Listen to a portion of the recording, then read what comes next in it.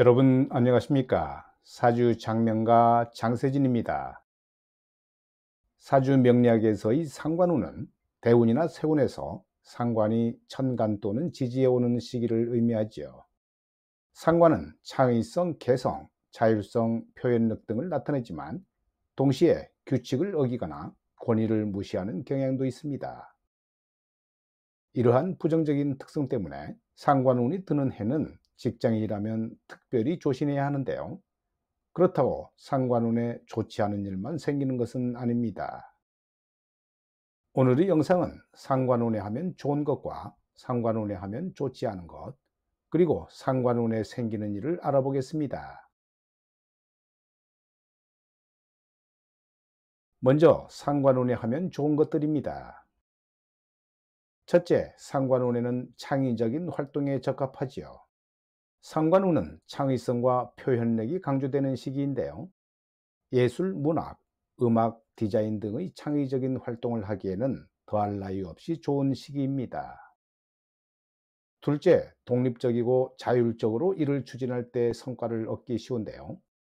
특히 자신의 아이디어를 실현하는 데 좋은 시기입니다. 셋째, 새로운 지식이나 기술을 배우고 연구하는 데 적합한 시기이므로 학습과 연구를 하기에 적합하고요. 넷째, 창의적인 아이디어를 바탕으로 한 개인 사업을 시작하거나 확장하는 데 좋은 시기입니다. 끝으로 여행과 모험 등 새로운 곳을 탐험하고 다양한 경험을 쌓는 활동에 유리합니다. 이번에는 상관운에 하면 좋지 않은 것들입니다. 첫째, 상관운은 권위를 무시하는 경향이 강하므로 상사나 권위자와 갈등을 피하는 것이 좋지요. 평상시에는 상사의 질책에도 잘 견뎠지만 상관운에는 대들거나 다른 사람에게 상사의 험담을 하다가 화를 입는 경우가 있는데요. 직장인이라면 상관운에는 언행을 특별히 조심해야 하고 아무리 친한 사이라도 남에게 상사의 욕이나 험담을 해서는 안 됩니다. 둘째, 지나친 모험, 위험한 투자, 도박은 피하는 것이 좋지요. 주식 같은 투자도 상관 시기에는 공격적인 투자를 피하고 안전 위주의 투자를 해야 합니다.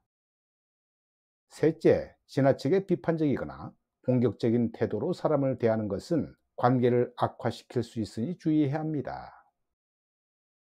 특히 상관운에는 평상시에 하지 않았을 언행은 절대로 피해야 합니다. 넷째, 상관의 특징 중에 하나가 규칙이나 법을 무시하는 행동이죠. 평상시라면 하지 않았을 언행도 상관운에는 대범하게 저지르는 경우가 있으므로 각별히 주의해야 합니다. 마지막으로 중요한 결정이나 장기적인 계획을 세울 때는 신중한 판단이 필요하지요. 특히 감정적이거나 충동적인 결정은 절대로 피해야 합니다. 이렇듯 상관운은 자신의 창의성과 개성을 표현할 수 있는 좋은 시기이지만 동시에 감정적이거나 충동적인 행동을 자제하고 신중하게 행동하는 것이 중요합니다. 지금부터는 상관운에 생기는 일을 알아봅니다. 상관운에는 관성을 극상하고 상관경관의 역작용으로 정관을 파극하니까 정형화된 일상을 벗어나 궤도 이탈을 하는 운이지요. 학생에게는 반항이나 탈선, 거부하려는 의지 등을 의미하니까 학교 가기 싫고 선생님 말을 잘 안 듣는 시기가 됩니다. 직장인은 관행을 거부하고 틀에 박힌 분위기가 싫어 이를 개혁하려는 의지가 생기게 되며 결과적으로 상사의 눈밖에 나게 되고 또 개인적인 사업을 하기 위해 직장을 그만두는 경우도 많습니다. 여자는 남편을 거부하고 외도를 하게 되는데요. 빗나간 도덕성으로 인해 관제 구설이 발생하는 운이기도 합니다. 또 상관은 칠사를 제살하니까 전화 국면이나 위기를 극복하는 형상이 되고 이는 개혁의지, 시민운동, NGO, 운동권 등에서 활동을 하게 되며 총체적 난국인 IMF 사태 같은 한계 상황을 극복하는 과정의 형상과 힘이 느껴집니다. 원국과 대운에서 상관이 움직이면 반골이 되죠. 새 건물이나 흑자를 내는 편안한 회사나 부서의 적응이 어렵고 반면에 망해가는 회사나 가게, 헌집 등에서 능력을 발휘하고 또한 길하게 되는데요. 잘못된 관행, 불합리한 분위기나 흠 등을 개선하고 들어가면 불같이 살아나 주목을 받게 되고 능력을 인정받게 되는 것입니다. 상담 과정에서는 기존에 해오던 무언가를 바꿀 것 같고 바꾸지 않으면 거부하고 밀어내니까 탈선이나 관제 구설이 발생한다고 말해주면 정확한 상담이 될 겁니다. 상관은 비겁을 설기 내지는 토기하게 되지요.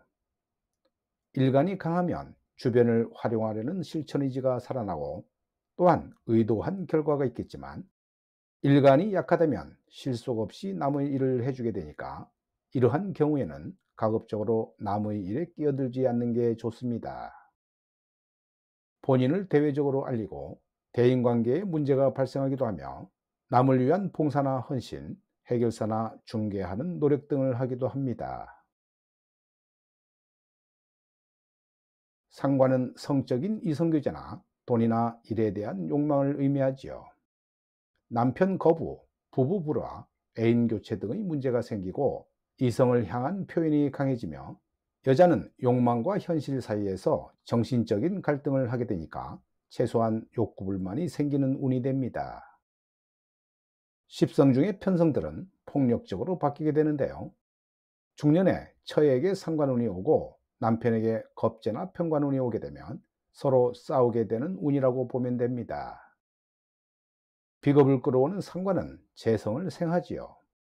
왕성한 재테크 활동을 하게 되며 돈이나 비자금을 챙기는 운이 되고 여러 가지 의미에서 분주한 활동을 하게 되는데요. 조직이나 가족, 이성관계에서는 문제가 되지만 사업성은 좋고 최소한 업종 변경이라도 할 것으로 봅니다. 관성의 활용도는 좋으나 결탁은 흉하고 오락적인 취미활동에 빠지게 되니까 이에 대한 조심을 할 일입니다. 상관은 눈앞에 돈이 목적이고 또 이에 대한 집중력이 매우 좋으며 식신은 공직이나 명예의 관성까지 내다보고 계획을 하게 되는 차이가 있습니다.